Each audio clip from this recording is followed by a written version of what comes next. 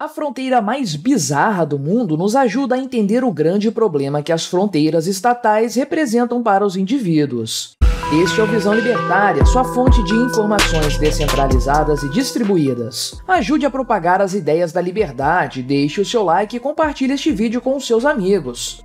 Qualquer indivíduo que comece a se enveredar pelos caminhos do libertarianismo, em pouco tempo vai passar da fase imposto é roubo para outros temas mais específicos e técnicos. Na medida em que a percepção de que o Estado é um ente ilegítimo que usa de violência contra pessoas pacíficas vai se cristalizando, o neolibertário começa a adentrar em temas mais abrangentes. Um desses temas, sem dúvida, é a questão das fronteiras, que nada mais são do que linhas imaginárias rabiscadas sobre o mapa e que determinam a soberania e a jurisdição das nações. Essas duas palavras indicam basicamente que determinado governo tem o poder de agir de forma violenta contra as pessoas que moram na área delimitada por essas linhas. Como muito do que hoje existe e é aceito como normal por todos, as fronteiras surgiram de forma espontânea. Na maioria dos casos, elas delimitavam de forma conjunta a propriedade dos indivíduos e a área em que determinado sujeito era o soberano, por exemplo, as muralhas das cidades antigas. Com o tempo, tempo, na medida em que a população humana foi crescendo, fronteiras naturais passaram a ser estabelecidas. Rios, montanhas, florestas e demais acidentes geográficos serviam para dizer onde começava e onde terminava uma nação. Durante esse período, grande parte das terras sequer foi reclamada, só havia fronteiras onde interesses divergentes se encontravam. Porém, conforme os estados foram ficando mais sofisticados por falta de um termo melhor, as fronteiras começaram a representar menos a realidade e mais os interesses interesses do próprio Estado. Na atualidade, qualquer pedaço de terra já está luteado entre os diversos países existentes. Algumas fronteiras são motivo de disputa, algo que em muitos casos leva a conflitos reais. Contudo, algumas dessas fronteiras conseguem, mais do que outras, demonstrar a bizarrice que é a ideia de linhas arbitrárias estatais artificiais de maneira geral. Pensemos, por exemplo, no caso do Afeganistão. Ao olharmos para o mapa do país castigado pelos talibãs, podemos perceber que no extremo leste se encontra um saliente, uma faixa de terra comprida que parece muito estranha para ser uma fronteira natural. Trata-se do corredor de Vacan, que de fato não é uma fronteira natural. Esse saliente, situação que por vezes também é referida por Cabo de Frigideira, foi estabelecido no fim do século XIX pelo Império Britânico, como forma de impedir que o Império Russo tivesse acesso direto à Índia. Na verdade, nessa época, o Afeganistão foi tratado como um estado tampão entre o território russo russo e o britânico. O corredor de Vacan termina por formar uma estreita fronteira de meros 76 quilômetros com a China. Outro caso semelhante é o do braço de Caprivi, na Namíbia. Esse país africano foi originalmente colonizado pelos alemães, que sentiram a necessidade de ter acesso ao rio Zambeze, considerado bastante estratégico naquela época, finais do século XIX. Por conta dessa necessidade, o Império Alemão firmou um tratado com a Inglaterra em 1890, que estabelecia essa estreita faixa de terra de pouco mais de 30 quilômetros de largura, ligando o território da Namíbia ao citado rio. Aliás, se você quiser saber um pouco mais sobre a história da colonização desse país africano, recomendamos nosso vídeo de título A Alemanha protagonizou o primeiro genocídio do século XX, link na descrição. Ainda na África, podemos citar também o caso da República Democrática do Congo. No sentido oposto ao da Namíbia, o mapa desse país exibe um pequeno saliente que liga seu território não ao centro do continente continente, mas sim ao Oceano Atlântico. Acontece que quando as nações europeias fizeram a partilha da África em 1884, por ocasião da Conferência de Berlim, ficou determinado que o Congo se tornaria um protetorado particular do rei Leopoldo II da Bélgica. Esse saliente foi uma solução encontrada pelos conferencistas para garantir ao infame rei o importante acesso ao mar. Outro exemplo de fronteiras esquisitas e não naturais são as linhas retas traçadas entre diferentes países, que são mais do que qualquer outro caso, linhas arbitrárias traçadas sobre o um mapa. Podemos ver esse tipo de fronteira, por exemplo, entre a Arábia Saudita e o Iraque e a Jordânia, ou entre o Egito e a Líbia e o Sudão, ou ainda naquele que talvez seja o caso mais conhecido entre os Estados Unidos e o Canadá, cujas fronteiras são determinadas em sua maior parte por uma linha reta imaginária, o paralelo 49N. Existem ainda os enclaves, territórios de um país localizados inteiramente dentro do território de outro país, e os esclaves, partes de um país que se encontram fora de seu território principal. Alguns casos são bastante famosos, como o de Campione d'Italia, uma comuna italiana dentro do território suíço, ou da província angolana de Cabinda, separada do restante do país pelo citado acesso ao mar da República Democrática do Congo. Também temos Kaliningrado, um oblast russo separado do restante do território governado por Vladimir Putin por uns bons quilômetros. E é justamente essa dinâmica de esclaves e enclaves que explica a mais bizarra de todas as fronteiras já concebidas pela mente dos estatistas. Trata-se do caso da pequena cidade de Baarle, com seus poucos 9 mil habitantes e que pertence em partes aos Países Baixos e em partes à Bélgica. A maior parte desse núcleo urbano está indiscutivelmente sob controle holandês, formando a cidade chamada de Baarle-Nassau. O problema mesmo está relacionado ao pedaço belga dessa cidade, conhecido como Baarle-Hertog. Pedaço não, pedaços, muitos deles. Apenas tente entender essa bagunça. Existem nada menos que 22 enclaves belgas, ou seja, pedacinhos de terra que pertencem à jurisdição da Bélgica, dentro do território dos Países Baixos. Por outro lado, existem outros oito enclaves holandeses dentro do território belga. E só para deixar a coisa ainda mais confusa, desses oito enclaves, sete estão localizados dentro de algum enclave belga. Vamos tentar desenhar a explicação dessas fronteiras para deixar a coisa mais clara. Imagine o território holandês. Dentro dele existem vários pedacinhos de terra belgas, e dentro de alguns desses pedacinhos existem pedaços ainda menores que são territórios holandeses. Em poucos passos, um holandês típico sai de sua pátria, atravessa a Bélgica e está de novo nos Países Baixos. Você consegue imaginar a dor de cabeça que isso pode representar? E de fato, essa bizarra fronteira motiva, sem trocadilhos, toda sorte de bizarrices. Por toda a extensão de Baarle, podemos encontrar linhas no chão, determinando onde começam e onde terminam os dois países.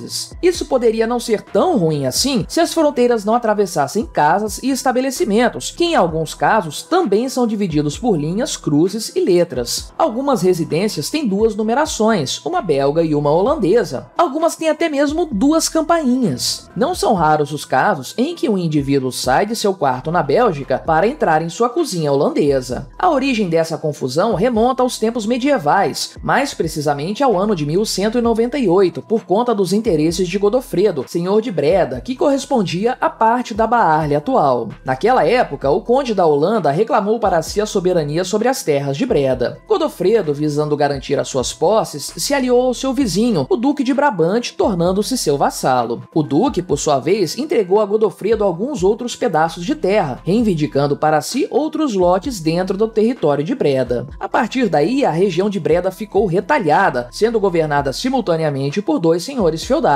As terras de Godofredo passariam por sucessão à Casa de Nassau, que governaria no futuro os Países Baixos. Já as terras do duque, cujo termo na língua local é Hertog, permaneceram com sua família por ainda muitos séculos. Em 1648, com o fim da guerra entre a Espanha e os secessionistas holandeses, foi estabelecida a Paz de Westfália. Esse acordo dividiu o território dos Países Baixos em norte e sul, esta última parte formando na atualidade a Bélgica. Por sinal, o ponto de mais dificuldade no estabelecimento dessa fronteira foi justamente o Ducado de Brabante, especialmente no território de Breda. Saltando no tempo, em 1815, após as guerras napoleônicas, o Reino dos Países Baixos foi estabelecido sob o comando da Casa Real de Nassau. Contudo, algumas províncias submetidas à Sua Majestade se rebelaram em 1830, formando na sequência a atual Bélgica. Dentre essas províncias estava o território de Brabante. Só que, se você ainda não dormiu, você certamente se lembra que parte do território de Baarle pertencia ao Duque e parte à Casa de Nassau. Obviamente, a cidade ficou dividida. Os partidários dos revoltosos se uniram à Bélgica, formando Baarle-Hertog, mas os lotes governados pela Casa de Nassau se mantiveram fiéis ao rei, formando Baarle-Nassau. Em 1843, finalmente ambos os países celebraram um acordo estabelecendo as fronteiras entre as nações. Acontece que no caso de Baarle, o acordo não foi tão simples, justamente por conta de todo esse histórico. Por fim, foi estabelecida uma cláusula determinando que seria reconhecida a nacionalidade de cada lote de terra na cidade, conforme sua vinculação histórica ou ao Conde de Nassau ou ao Duque de Brabante. Só que a coisa demoraria mais 150 anos para ser resolvida por completo. Foi apenas em 1995 que a cidade terminou de ser loteada entre os países. Agora, cidadãos belgas e holandeses precisam arcar com essa doideira. De qualquer forma, a cidade se tornou até ponto turístico político por causa disso, o que acaba compensando um pouco os problemas. Na verdade, a bizarrice desse caso não torna a fronteira entre Países Baixos e Bélgica a pior do mundo, é só a mais estranha mesmo. Contudo, problemas bastante relevantes podem ser observados em outras partes do globo, justamente por conta delas, as linhas imaginárias estabelecidas por políticos. Por toda parte, fronteiras são usadas como motivo para migrações forçadas ou como justificativa para o uso da violência estatal. As fronteiras arbitrárias estabelecidas na Índia e nos Balcãs, por exemplo, resultaram na morte de milhões de seres humanos. Tudo isso pelo desejo estatal de determinar de forma cruel onde começa e onde termina o direito de um político de mandar na vida das pessoas. O pior problema das fronteiras estatais, contudo, é mais profundo. Trata-se da relativização da propriedade privada, ou seja, a subjugação da soberania dos direitos dos indivíduos pelo Estado. As fronteiras naturais e éticas são aquelas estabelecidas pela propriedade de um indivíduo, muros, cercas, grades e no limiar da autopropriedade, os limites do próprio corpo. Ao estabelecer fronteiras arbitrárias, contudo, o que o Estado faz é afirmar que dentro daquele espaço geográfico imaginário, a propriedade privada não existe e a violência estatal é autorizada. Faça um teste por você mesmo, deixe de pagar os impostos sobre seu imóvel para você ver se o governo não vai te expulsar de sua própria casa. Em última análise, portanto, o atual direito sobre propriedade não passa de uma mera concessão estatal. Por mais bizarras que essas linhas criadas pelos políticos possam ser, portanto, o maior de seus problemas não é geográfico, ele é antes de tudo uma questão ética.